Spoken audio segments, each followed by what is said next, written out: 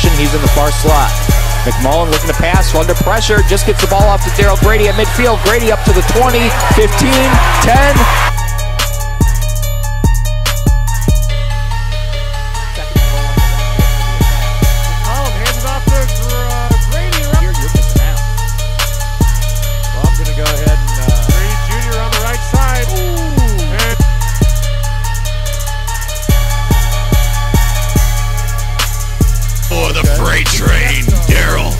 Greedy.